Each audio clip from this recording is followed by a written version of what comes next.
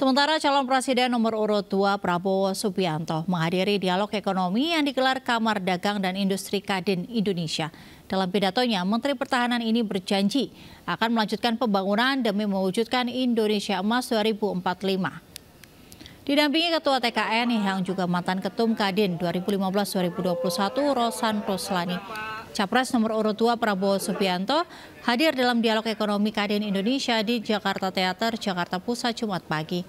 Dalam pidatonya terkait perencanaan mewujudkan Indonesia Emas 2045, Prabowo menyebut perlunya sinergitas antar semua pihak demi menyelaraskan strategi transformasi bangsa dengan batu landasan yang sudah dibangun Presiden Joko Widodo dengan fokus memberantas kemiskinan hingga mempercepat hilirisasi pemerataan pembangunan dan pemberantasan korupsi dapat membawa kesejahteraan bagi seluruh masyarakat.